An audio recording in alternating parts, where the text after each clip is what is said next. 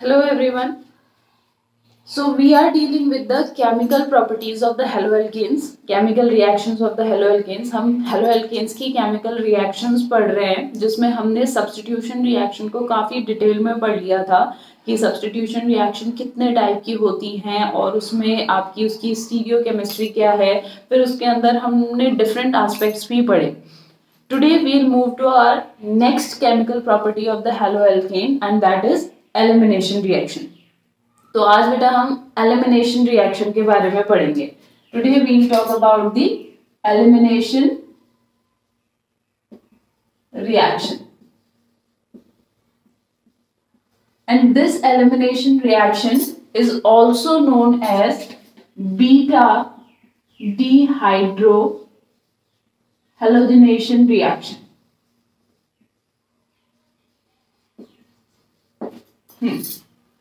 तो ये elimination reaction है, जिसको बीटा एलिमिनेशन रिएक्शन या बीटा डिहाइड्रोहेलोजिनेशन रिएक्शन भी कहते हैं। ठीक है? तो ये है क्या? फ़र्स्ट ऑफ़ ऑल तो ये है क्या? इसमें क्या करते हैं, जो हमारा हेलो एल्केन होता है, उस हेलो एल्केन को हम हीट करते हैं with concentrated alcoholic solution of K O H के ओ एच लेते हैं पोटेशियम हाइड्रोक्साइड उसका हम अल्कोहलिक सोल्यूशन लेते हैं. Not aqueous solution we'll take the alcoholic solution we'll take alcoholic solution for elimination ठीक है? एक्वस लेते हैं हम सब्सटीट्यूशन के लिए. तो we take the alcoholic concentrated alcoholic solution of KOH और जब हम हेलो एल्केन को उसके साथ हीट करते हैं, तब क्या होता है?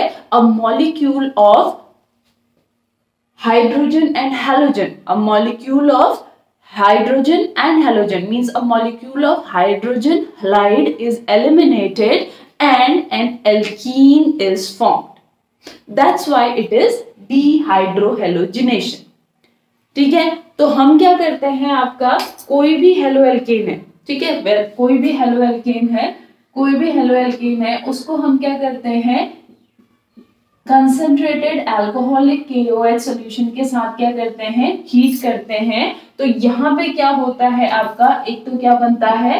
एल्कीन और साथ में यहाँ पे क्या रिलीज़ होता है? Hydrogen halide that's why it is dehydrohalogenation reaction इसलिए इसे dehydrohalogenation रिएक्शन कहते हैं। ठीक है? अब यहाँ पे जो ये हाइड्रोजन रिलीज़ होता है ठीक है? ये जो हाइड्रोजन रिलीज़ होता है हाइड्रोजन और हेलोजन दोनों ही कहाँ से रिलीज़ हो रहा है? हेलो एल्केन से रिलीज़ हो रहा है। लेकिन जो हाइड्रोजन यहाँ पे रिलीज़ होता है, ये रिलीज़ होता है from the beta carbon from the beta carbon that's why it is beta dehydrohalogenation आया समझ में? डीहाइड्रोहेलोजिनेशन क्यों? क्योंकि एक आपका मॉलिक्यूल रिलीज़ हो रहा है हाइड्रोजन हलाइट का। वो एलिमिनेट हो रहा है। That's why it is dehydrohalogenation और जो हाइड्रोजन यहाँ पे एलिमिनेट हो रहा है, वो बीटा कार्बन से हो रहा है। अब बीटा कार्बन क्या होता है? The carbon which is present next to the carbon in which the functional group is present ठीक है? बीटा कार्बन क्या होता है? जिस कार्बन पे फंक्शनल ग्रुप प्रेजेंट होता है, उस कार्बन को अल्फ़ा कार्बन कहते हैं और उसके बगल वाले कार्बन को क्या कहते हैं? बीटा कार्बन कहते हैं। ठीक है? Let us take one example C H three C H two C L ethyl chloride ठीक है? क्लोरो इथेन है ये। क्लोरोएथीन को हम क्या करेंगे? अल्कोहलिक केवल सॉल्यूशन के प्रेजेंस में हीट करेंगे। ठीक है? तो क्या होगा? ये है मेरा alpha carbon this is my alpha carbon क्योंकि इसके साथ क्या जुड़ा हुआ है मेरा फंक्शनल ग्रुप और इसके बगल वाला कार्बन मेरा क्या हो गया? बीटा कार्बन तो यहाँ इस अल्फ़ा कार्बन से निकलेगा Cl और इस बीटा कार्बन से क्या निकलेगा H तो क्या बन जाएगा? CH2 double bond C H two plus H C N clear हो? ये पॉइंट क्लियर हो?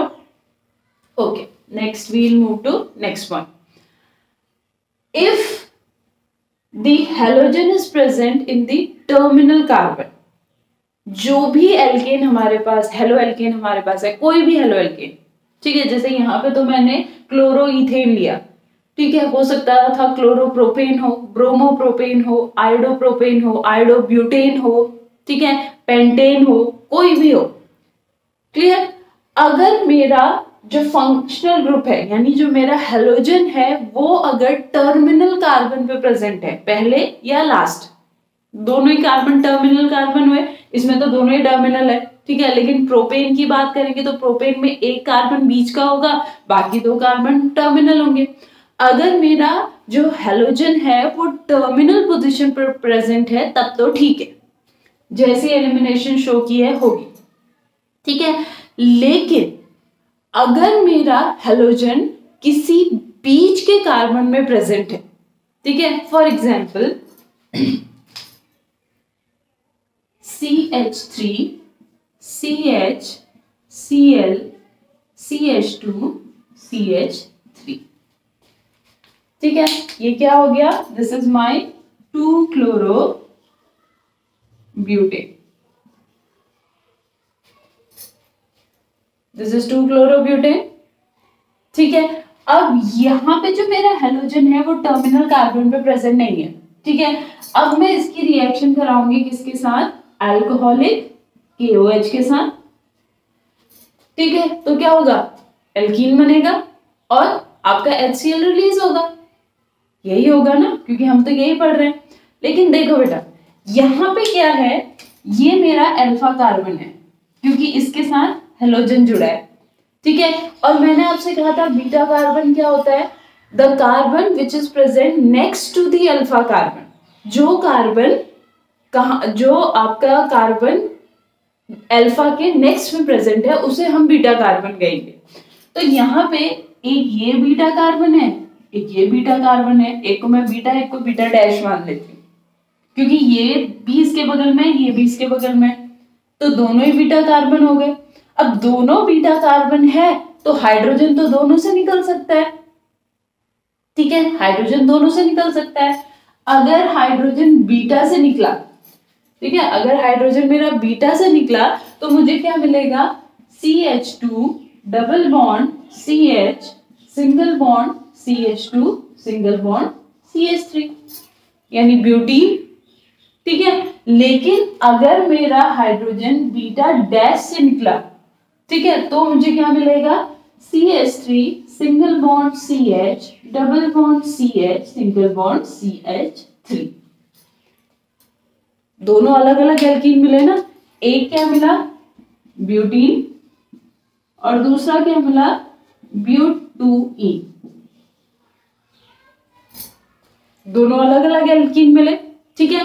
तो अगर ऐसी सिचुएशन आती है तो means when the halogen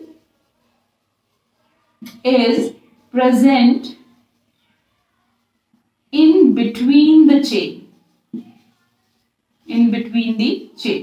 यहाँ पे तो टर्मिनल पोजीशन पे आई है, ठीक है? लेकिन यहाँ पे ये इन बिटवीन आ गया। तो इन बिटवीन अगर प्रेजेंट है तो वहाँ पे हमारा क्या हो सकता है?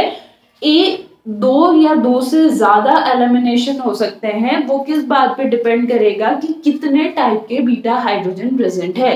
क्योंकि यहाँ दो टाइप के बीटा हाइड्रोजन प्रेजेंट थे तो दो एलिमिनेशन हुए। तीन टाइप के होंगे तो तीन एलिमिनेशन होंगे। तो जितने टाइप के बीटा हाइड्रोजन प्रेजेंट है, उतने टाइप के हमारे क्या होंगे वहाँ पे? एलिमिनेशन होंगे। क्लियर ठीक है? तो यहाँ पे इस केस में, ठीक है? अब इस केस में हमारे पास दो एल्कीन है तो इन दोनों एल्कीन में से कौन सा एल्कीन ज़्यादा स्टेबल होगा? ठीक है? ये हमें कौन बताएगा? A rule which is known as Saytzeff rule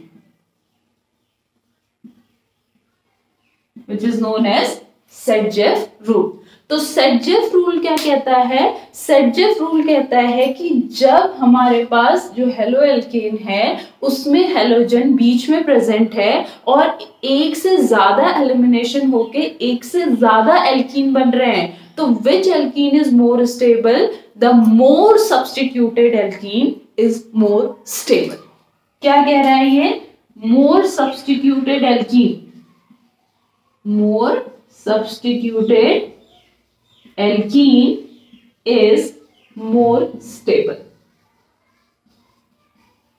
अब ये मोर सब्सटीट्यूटेड कहने का मतलब क्या है? मोर सब्सटीट्यूटेड कहने का मतलब है, आपको कैसे पता चलेगा कि एल्कीन ज़्यादा सब्सटीट्यूटेड है? जो डबल बॉन्ड बना है, जहाँ पे डबल बॉन्ड है, उसके अराउंड हाइड्रोजन जितने कम होंगे, वो उतनी ही ज़्यादा सब्सटीट्यूटेड होगी। देखो, इसके केस में जहाँ पे डबल बॉन्ड है, इस कार्बन के साथ दो हाइड्रोजन है और इस कार्बन के साथ एक हाइड्रोजन और एक ये ग्रुप है। ठीक है? इसमें यहाँ पे डबल बॉन्ड है, एक कार्बन के साथ एक हाइड्रोजन एक सी एस थ्री है, दूसरे कार्बन के साथ एक हाइड्रोजन और एक सी एस थ्री है। मतलब यहाँ पे डबल बॉन्डेड कार्बन के साथ दो हाइड्रोजन है। और यहाँ पे डबल बॉन्डेड कार्बन के साथ कितने हाइड्रोजन आ गए? तीन। तो ज़्यादा सब्सटीट्यूटेड एल्कीन कौन सी हो गई? Butene that's why it is more stable और ज़्यादा स्टेबल होगी तो ईल्ड भी किसकी ज़्यादा होगी? ब्यूटूइन क्लियर तो जब हमारा जो हेलोजन होगा ठीक है? अगर हेलोजन अगर आपसे ये पूछा जाएगा कि बीच में कहीं हेलोजन प्रेजेंट है और इसका मेजर प्रोडक्ट लिखिए तो आप ये लिख के आएँगे, ना कि ये क्लियर ठीक है? नेक्स्ट अगर जो हमारे यहाँ पे एल्कीन बन रही है, अगर that alkene is capable to form cis and trans isomer अगर वो एल्कीन सिस और ट्रांस आइसोमर में कन्वर्ट होने की टेंडेंसी रखती है, उसके आइसोमरिज्म की टेंडेंसी रखती है then the trans isomer is more stable than the cis isomer ठीक है? यहाँ पे देखो ब्यूटुइन ब्यूटुइन को अगर मैं ओपन करती हूँ तो क्या मिलेगा? C H three C H double bond C C H three H और C H three C H double bond C H C H. This one is my cis isomer and this one is my trans isomer of butene butene और butene में से ज़्यादा yield ब्यूटुइन की होगी, लेकिन इसी ब्यूटुइन में से ज़्यादा ईल्ड किसकी होगी? ट्रांस आइसोमर की because this one is more stable ये मेरा क्या है? ज़्यादा स्टेबल और ये सारी बातें हमें कौन बता रहा है? One rule that is the Saytzeff rule clear Saytzeff rule okay now we'll move next okay suppose we have same halogen हमारे पास हेलोजन सेम है बट जो चेन है ठीक है we have same halogen but जो हमारी एल्किल हेलाइट में जो एल्किल की चेन है, वो प्राइमरी सेकेंडरी और टर्शरी है। ठीक है प्राइमरी सेकेंडरी एंड टर्शरी है तो ईज ऑफ़ डिहाइड्रोजनेशन डिहाइड्रोहेलोजनेशन जो होगा, वो होगा three degree then two degree and then one degree if the halogen is same ठीक है CH3, CH2, Cl. ठीक है? C S three C H two C L okay let's take another example no C S three C H two C L next is C H three C H C L C S three next is CH3, C, CH3, Cl, CH3. ठीक है? ये तीन example हैं। ये हमारा हो गया chloroethane this is two chloro propane this is two chloro two methyl propane ठीक है? अब यहाँ पे हमारा क्या होगा? रिएक्शन होगी। अल्कोहलिक KOH हीट करेंगे। अल्कोहलिक KOH हीट करेंगे एंड अल्कोहलिक KOH हीट करेंगे। ठीक है? This one is my three degree this one is my two degree and this one is my primary ठीक है? यहाँ पे मुझे क्या मिलेगा? C H two double bond C H two यहाँ पे मेरे पास दो बीटा हाइड्रोजन है, लेकिन दोनों की कंडीशन सेम है तो यहाँ से निकले या यहाँ से निकले, मुझे सेम टाइप का एल्कीन मिलेगा। So C H two double bond C H single bond C H three ठीक है? हेयर यहाँ पे ये मेरा अल्फ़ा कार्बन है, ये मेरा अल्फ़ा कार्बन है ये तीनों मेरे बीटा कार्बन है, जिनकी कंडीशन सेम है। तो इससे निकले इससे निकले इससे निकले, बात एक ही हो। क्लियर ठीक है? तो C H two double bond C C H three C H three ठीक है?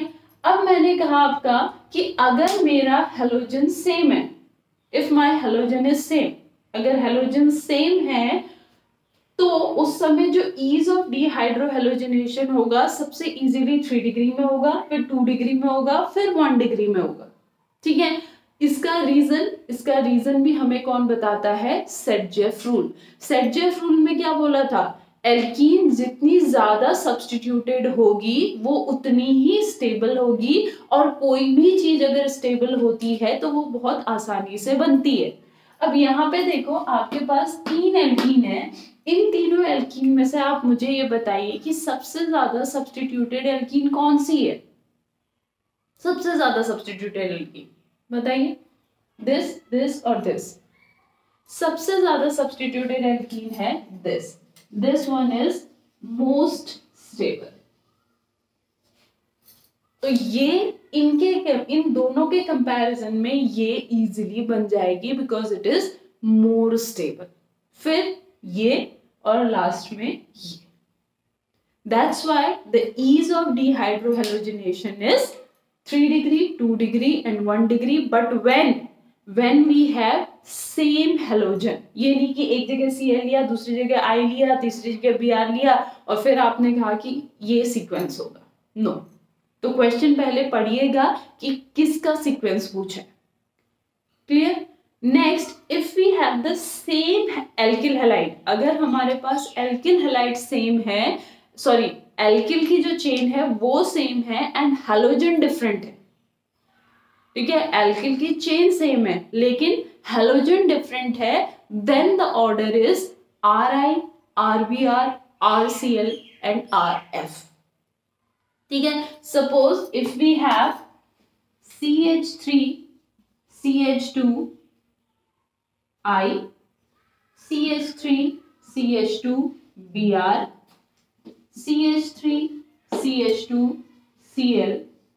CH3, CH2, Cl, CH3, CH2, F. तो इसके केस में ईज ऑफ़ डिहाइड्रोहेलोजिनेशन क्या हो जाएगा?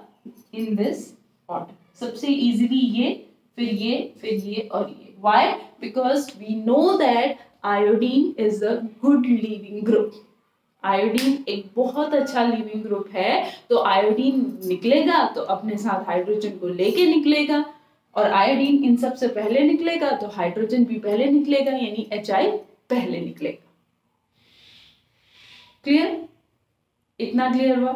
ना अब यहाँ पे जो हमने एंड किया है, ये एल्किल फ्लोराइड एल्किल फ्लोराइड में जो एलिमिनेशन होता है, वो थोड़ा सा अलग होता है।